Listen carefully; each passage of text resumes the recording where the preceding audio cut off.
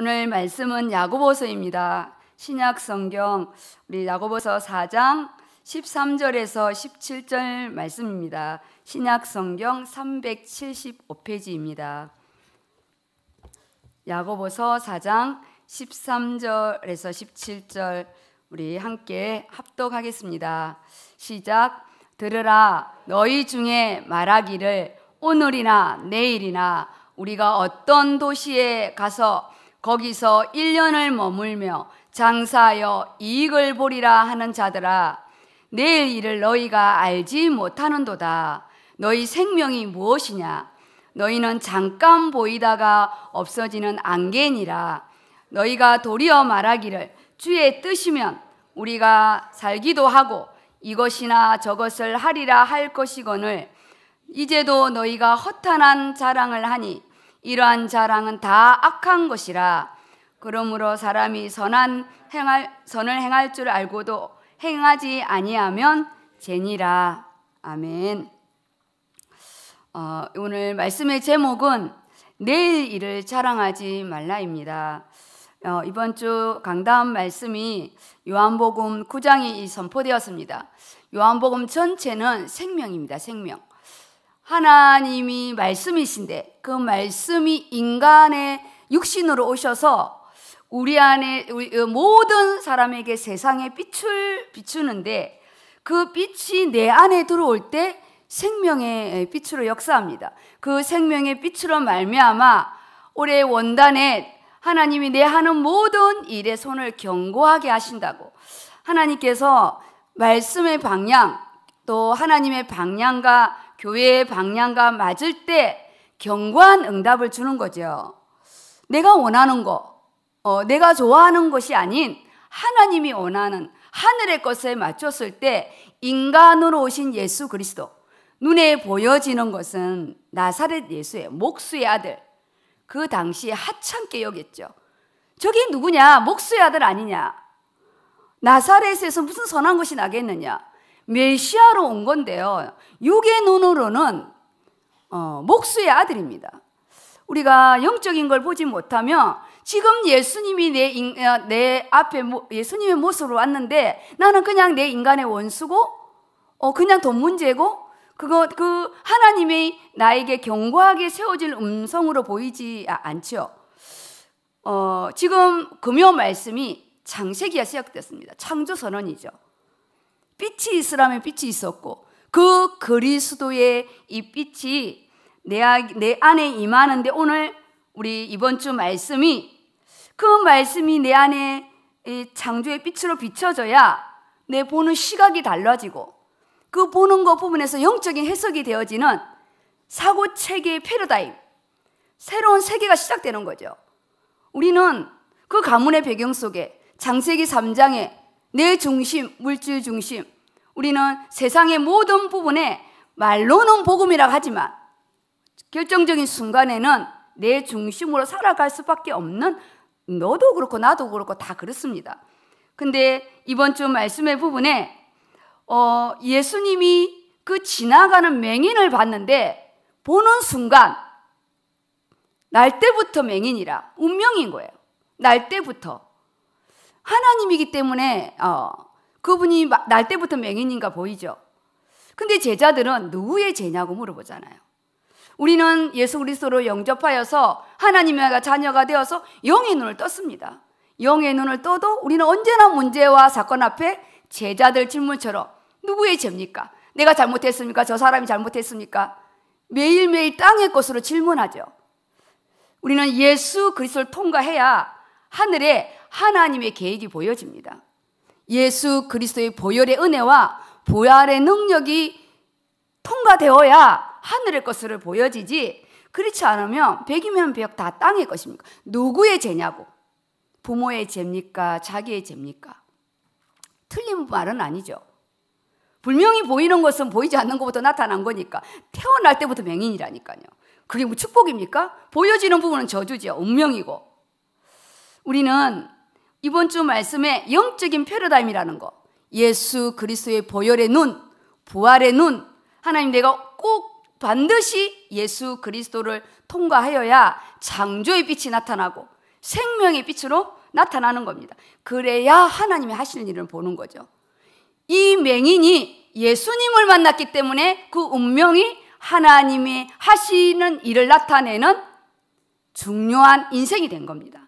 내가 예수 그리스도를 만났기 때문에 하나님의 계획을 알게 되었고 내가 예수를 만났기 때문에 건축 성전 건축으로 동참하였고 내가 하나님을 예수 그리스도를 만났기 때문에 전도와 성교로 가는 것입니다.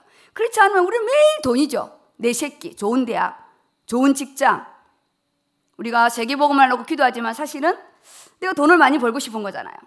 우리는 내일을 우리는 알지 못한대요. 그래서 어, 우리가 결론적인 부분의 금요 주일 말씀에는 어떠한 역경과 고난, 그 문제 사건 앞에 영적인 시각을 열어서 보라는데 아니 보고 싶죠 우리도. 하나님 계획을 보고 싶고 사람과 원수 안 맺고 싶고 돈 안 따라가고 싶고.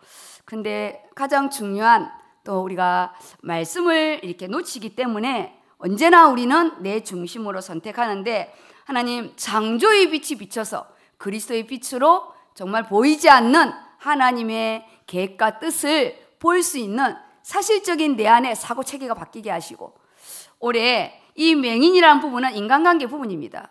아니 내가 인간관계 사람과의 관계에서 내가 그 사람에게 뭘 보아야 될지 중요한 또 어, 경고케 하는 하나님의 원단의 모세의 응답이 있기를 축복합니다. 오늘 본문의 어, 말씀은 야고보서 4장 13절에서 17절 말씀인데요. 제목은 제가 내일이를 자랑하지 말라는 14절 말씀을 어, 본문을 잡고 제목을 정했습니다. 내일을 너희가 알지 못하는도다. 지금 이 야고보서의 기자는요, 어, 이 서신서를 받는 사람이 대부분들이 소아시아 그 여러 어, 소아시아에 여러 도시 국가들이 있었는데 그분들이 이렇게 여기저기 또 돌아다니면서 한 곳을 이렇게 딱 정하여서 장사지지죠.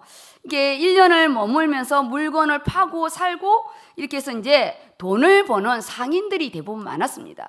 오늘 그 상인들에 대한 이 어, 우리 삶에 대한 부분이거든요.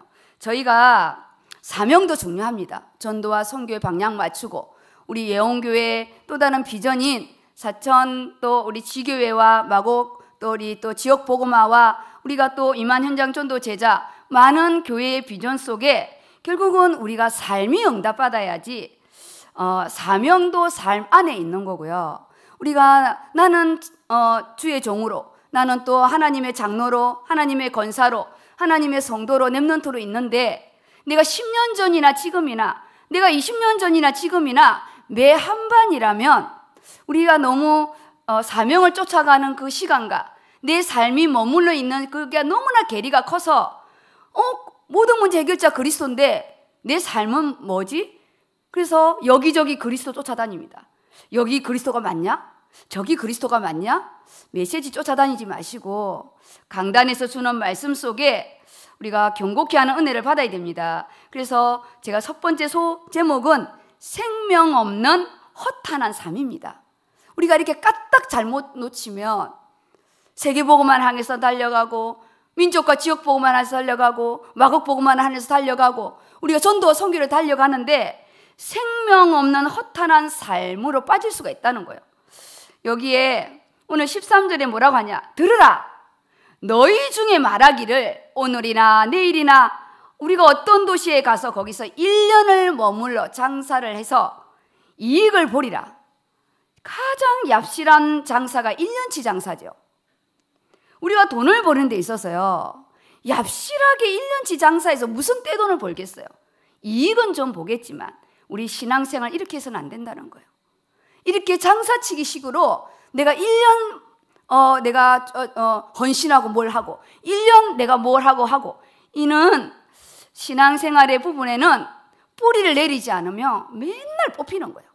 심었다 면 뽑히고 심었다 면 뽑히고 주일 강단에서 그랬죠. 너무 나무를 자주 옮기면 뿌리를 못 내린다고. 우리 화분 분갈이 해봤자 화분입니다. 우리가 땅에 깊이 뿌리를 내려야지. 우리는 직분에 뿌리를 내리는 게 아니고 예수 그리스도 안에 뿌리를 내리고 직분을 감당하는 겁니다. 들으라. 오늘 들으래요. 1년을 장사해서 떼돈을 버리겠다는 거예요. 이 얼마나 어리석은 생각이냐는 거예요. 하나님 우리가 세상 사는 것도 어리석은 건데 신앙의 부분이 지금 믿는 자에게 하는 말입니다. 삶을 가지고 있는 이들에게 하는 말이죠. 어, 어리석은 인간의 이런 한탄한 이런 생각들, 계산에 대한 부분에 대한 경고에 대한 부분입니다. 1 더하기 2는 2가 맞죠? 50 더하기는 50은 100이죠? 그는 우리의 인간의 산수적인 십진법의 계산입니다. 1년을 계산해서 얼마를 버리겠다. 아, 그거 뭐 틀린 말은 아니죠. 하나님의 계산은 1초를 하나님이 계산하면 100년의 응답이 있고요. 내가 100년을 노력했는데요. 마이너스 인생이 되는 게 우리입니다. 하나님 앞에 우리는 불가항력적인 하나님의 축복이 있죠. 1 더하기 1이었는데 하나님 100으로 주십니다. 이게 하늘의 계산법이고 장세기의 계산법입니다. 지금 장세기가 들어갔으니까 내 삶의 모든 체계가 바뀌는 은혜가 있기를 바랍니다. 장세기 3장의 주인은 나죠. 내가 벗은 것이 두렵고 나무 잎을 가리는 우리 인생. 학력으로 가릴까? 돈을 많이 벌여서 가릴까? 직분을 가져서 가릴까? 우리는 나무 잎의 인생입니다. 요나가 박넝쿨이요. 몇 시간 만에 말라버렸어요. 엄청 화를 냈습니다. 우리는요, 우리 인생은 박넝쿨 인생입니다. 우리가 입은 어, 이 세상의 옷이 영원하지가 않죠. 영원한 우리는 가족 옷인 예수 그리스도를 입어야 창피하지가 않지. 나무잎을 엮어봤자 평생 갈아야 됩니다. 오늘 우리가 때와 기한을 정하는 1년의 기한을 정했다는 거. 이게 꼭 1년이라는 게 아니라 영적인 의미는 너희의 계산이라는 거예요.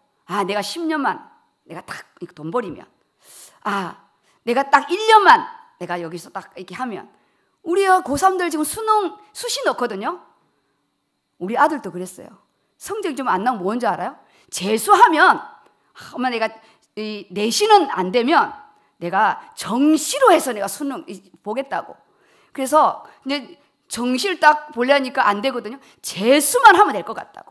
우리 인생이 1년 재수해서 될 거면 아니 뭐 고3은 왜 보냅니까? 고3에 승부가 안 되는데 무슨 재수를 해서 되겠습니까? 우리 인생이 매년 재수하다 끝납니다. 하나님 앞에 내가 좀 쉬었다가 1년만 쉬었다가 주의 일을 해야지.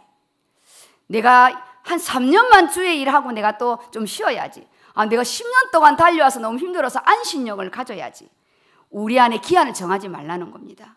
하나님 앞에 때와 기한은 내가 있는 게 아니에요. 우리요, 주를 위해서 일할 수 있는 거, 그 내가 선택하는 줄 아십니까? 그거 내 마음대로 선택하는 게 아니에요. 내가 일을 좀 하고 싶다 했을 때 몸이 아플 수 있고요.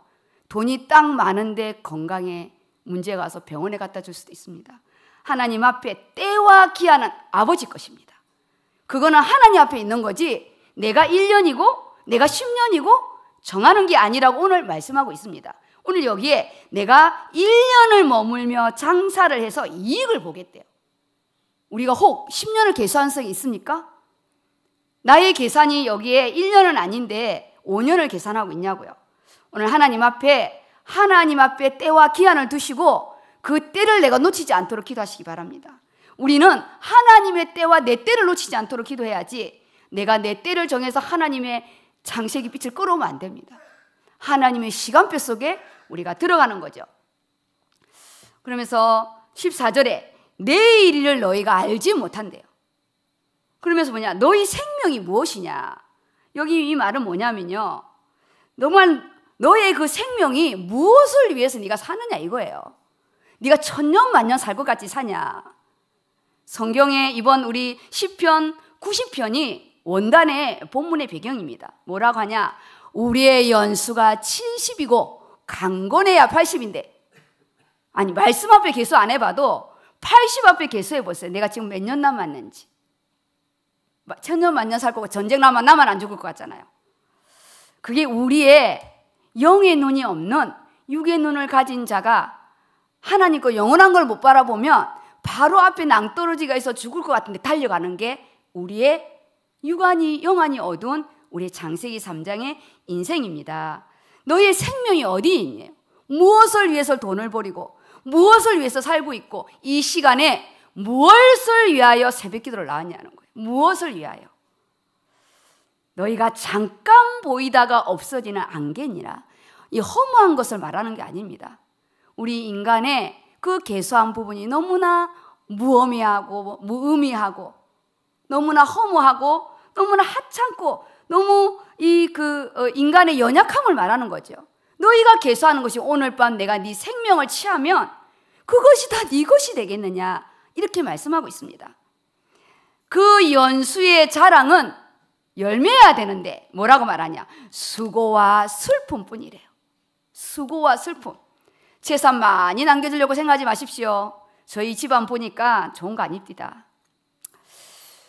자식들한테 똑같이 분배했다 했는데 내가 왜 형보다 작냐? 아, 왜 나는 바치고 왜 형은 건물이냐? 그렇게 또 다른 소송이 오더라고요. 저희 집의 이야기입니다. 저희 집에. 큰 아들은 건물을 주고 작은 아들은 땅을 줬거든요. 근데 저에게는 뭐를 줬냐? 아무것도 안 줬어요. 땅도 안 주고 건물도 안 주고. 근데 하나님께 따졌어요. 아무리 내가 내 이집 팔아서 하나님 주의 길을 가지만 그래도 육신의 땅은 줘야죠. 그랬더니 저희 아바마마께서 그 건물 팔아서 돈을 가져가래요. 근데 중요한 건 그 돈이 안 팔, 건물이 안 팔려요. 그래서 아직까지 아버지 돌아가신 지가 오래됐는데 아직 저에게 유산이 안 넘어오더라고요. 바로 넘어올 줄 알고 개수했는데 그 유산 또한 저한테 안 넘어오는 거예요. 우리의 개수가요. 하나님이 막으면 어떤 것도 어, 안 넘어오는 거예요. 하나님 앞에 내 날이 날아간대요. 우리가 지혜로운 마음을 얻게 하셔서 내 남은 날을 개수할 수 있게 해달라는 게 이 모세의 기도입니다. 그 기도 속에 창조의 빛, 생명의 빛으로 우리가 이번에 경관 응답을 받으시기를 예수 이름으로 축복합니다. 우리가 오늘 예수님의 질문이죠. 무엇을 위해서 사느냐? 네 생명의 근원이 어디 있느냐? 예수 그리스도에게 있다고 하지만 너 사실적인 삶의 생명은 썩어질 것에 있지 않냐? 우리가 이 썩어질 것을 가지고 전도와 송교의 방향 맞춰서 영원한 응답 받으시기를 바랍니다. 그리고 두 번째 부분에는 하나님께 의뢰하고 의지하는 삶입니다. 의뢰하는 거예요. 기도는 의뢰하는 거죠. 질문하고 물어보고. 근데 우리는 의뢰와 질문이 아니에요. 셀이다 청구서만 내는 거예요. 뭐 주시고 뭐 주시고 뭐 주시고 들어보지도 않아. 예수 이름으로 도장 딱 찍고 그냥 하나님 어 나 할 말이 있는데 어 이번 강단 말씀에 줄 말이 있는데 아이 그건 시끄럽고 그냥 이것 주고 저것 주고 이거 내 세상적인 문제 해결 딱 끝내버리는 거예요. 우리 하나님 얼마나 답답 대화가 안 통하면요 엄청 답답합니다. 우리에게 제일 답답한 게 누군지 아십니까? 허즈밴드. 남편이에요. 아, 오늘 우리 장로님이 와 계셔서 이게 말을 못 하겠네요. 허즈밴드가 제일 답답합니다. 근데 허즈밴드는 와이프가 제일 답답하겠죠. 어, 맞습니다. 우리 서로 답답해요. 며느리 이야기 들으면 며느리 이야기가 맞고 시어머니 이야기 들으면 시어머니고 왜 각자의 말이니까. 그래서 우리는 아버지한테 이야기해야 돼요. 우리 해봤자 부흥이에요. 부부가 흥분해서 해야 하는 것밖에 안 됩니다. 우리는 오늘 하나님 아버지 앞에 아래는고 의뢰하고 그래서 하나님의 말씀에 귀를 기울여서 빛이 이스라함의 빛이 있었고 그 예수 그리스도의 빛으로 충만하시기 바랍니다. 오늘 강구하실 때 주의 뜻이 무엇이고 하나님 내가 지금 이러한 문제가 있는데 하나님 내가 그 문제 속에 누구의 죄냐고 내 죄냐고 내가 잘못한 거냐고 누구의 죄냐고 하나님 단면적인 걸 따지지 않게 하시고 제자를 훈련하여 영안을 열게 하시는 것처럼 나를 경고케 하기 위해서 이 문제를 허락하셨냐고 이 부분을 반드시 어, 물어보셔서 오늘 이 본문에는 어떻게 질문하냐? 너희가 도리어 말하기를 하나님의 뜻이면 우리가 살기도 하고 이것이나 저것이나 이게 하나님의 뜻이면 우리 기도할 때 뭐라는지 이게 하나님의 뜻이면 되게 해주시고 하나님의 뜻이 아니면 막아주시고. 사실은 그게 내 뜻이기를 원하는 건데 좀 미안하니까 하나님 뜻이 아니면 좀 이게 어, 안 되게 해달라고 하는데 사실은 이게 하나님 뜻이기를 원하잖아요. 저도 그렇게 기도합니다. 이런 기도 많이 했어요. 하나님의 뜻이면 되게 해주시고 하나님의 뜻은 이번 또 강단의 말씀에 이번에 하나님 뜻은 너의 영안을 열어서 보아라. 너의 사고 체계, 고정관념, 너의 모든 지금까지 보았던 것이 틀렸다는 게 아니라 네 계획, 네 중심이 아닌 하나님의 하늘의 것, 하나님 중심으로 보라는 거죠. 지금 이 장사하는 이 상인들의 모든 부분은 물질 중심이잖아요. 우리는 또 다른 장사하는 부분입니다. 우리도 먹고 살아야 되니까. 선원의 인생은 80, 90%는 물질입니다. 근데 장세기 6장에 보면 네피림이 나옵니다. 네피림. 이 네피림은 당대의 이그 어, 그 용사 거인입니다. 거인. 안에 결론은 뭐냐? 생명이 없다는 거예요. 생명이. 우리가 세리다 돈을 벌였는데 영적인 거인이라. 직분을 가졌는데 직분이 이것도 하고 직분이 이번 올해 한 해 네 개야. 직분은 거인인데 하나도 생명이 없는 거예요.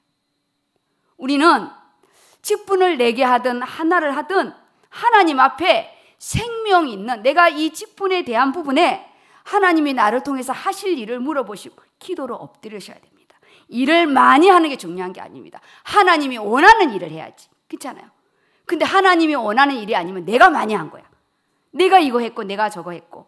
근데 하나님 뭐냐? 네 영광 네가 취했노라. 우리는 하나님이 원하는 일, 하나님이 정한 때, 하나님의 시간에 맞추는 그는 어, 생명 있는 우리가 되기를 원합니다. 주님의 뜻이면 그는 얍실하게 질문하지 마시고 하나님의 뜻은 우리가 경고하게 되기를 원합니다. 하나님의 뜻은 세상 속에 살지만 세상에 동화되지 않고 세상을 넘어서 전도와 선교에 마치고 예언교회 안에 성전의 기둥으로 하나의 직분의 기둥으로 세워지기를 원합니다. 8, 17절에 뭐라 말씀하시냐? 그러므로 사람이 선을 행할 줄 알고도 행하지 아니하면 죄래요, 죄. 알고도 행하지 않. 뭐란 줄 알아요? 다 안 돼요. 팀 사역 이렇게 하다 보면요. 다 알고 있대. 목사님 안 해도 다 알고 있대요. 뭐, 새 가족도 똑같이 뭐, 뭐, 훈련 받으러 가죠. 똑같이 말씀 듣죠. 똑같이 훈련 듣죠. 듣는 각도가 다른데 듣는, 듣는 시간은 똑같으니까. 근데 여기에 너가 알면은 뭐하냐? 행하지 않으면 죄라는 거예요. 그래서 이 어, 야고보서의 가장 중요한 부분은 뭐냐면 행하는 믿음입니다. 행하는 믿음이 있어야 산 믿음이고 하나님이 인정하는 거지 알고 있다. 70인 3차, 70인 100차까지 받아보세요. 소용없습니다. 다락방 하나 안 띄면.